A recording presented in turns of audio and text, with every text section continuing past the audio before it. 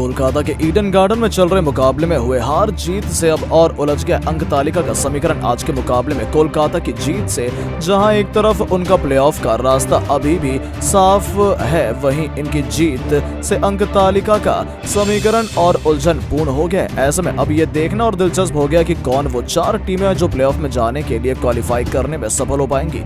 तो क्या है अभी अंक तालिका का नया समीकरण? बताएँगे आपको, इसलिए अब तक बने रहिएगा हमारे साथ वीडियो में। दोस्तों आईपीएल के आखिरी पड़ाव में चल रहे मुकाबले में जिस तरह से बड़ा उलटफेर देखने को मिल रहा है, उससे एक बार फिर अंक तालिका का समीकरण हंसता हुआ नज़र आ रहा है। ऐसे में अब ये देखना दिलचस्प होगा कि कौन वो टीम होगी जो प्लेऑफ के लिए क्वालिफाई करने में सफल हो पाती है। वैसे में आज के खेले गए मुकाबले में जहाँ कोलकाता ने एक बार फिर से पंजाब को शिकस्त दी है, उसके बाद अब उनके भी अंक तालिका पर 10 अंक हो गए हैं। और इस जीत के साथ ही कोलकाता ने एक बार फिर से अंक तालिका के समीकरण को उलझा कर रख दिया। ऐसे में अब जब तक सारे मुकाबले हो नहीं जाते, तब तक ये पता कर पाना कि कौन वो टीमें होंगी जो आईपीएल के प्लेऑफ में क्वालिफाई करने में सफल हो पाती हैं। बहुत मुश्किल होने वाला है। ऐसे में क्या है? अभी अंक तालिका का समीकरण। आइए आपको बताते हैं इस वीडियो में। दोस्तों, बात करें अंक तालिका पर मौजूद सबसे निचली टीम की। तो सबसे नीचे दिल्ली कैपिटल्स लगातार बनी हुई है। बात करें दिल्ली के समीकरण की तो दिल्ली ने अभी तक दस मुकाबले खेले हैं, जिसमें से उनको चार मुकाबलों में जीत हासिल हुई है। वही उनके छह मुकाबलों में हार का सामना करना पड़ा है और इससे चार जीत की बदौलत अंक तालिका पर। दिल्ली का आठ अंक है। वहीं बात करें इनके नेट रन रेट की तो दिल्ली का नेट रन रेट माइनस में शून्य दशमलव पाँच दो नौ है।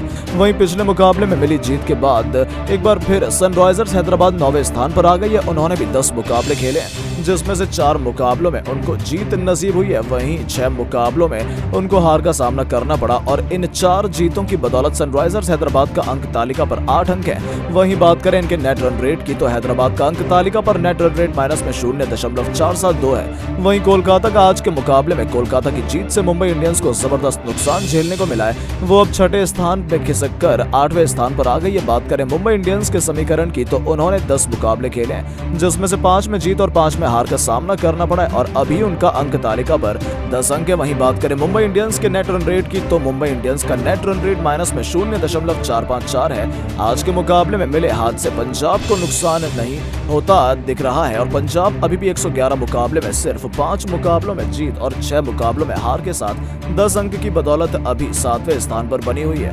वहीं के के आज के मुकाबले में मिली जीत से आरसीबी को भी नुकसान का सामना करना पड़ा है और अब वो पाँचवें स्थान से खिसक कर छठे स्थान पर आ गए हैं। आप बात करें आरसीबी के आंकड़ों की तो आरसीबी ने भी दस मुकाबले खेले जिसमें से उनको भी पाँच मुकाबलों में जीत और पाँच मुकाबलों में हार नसीब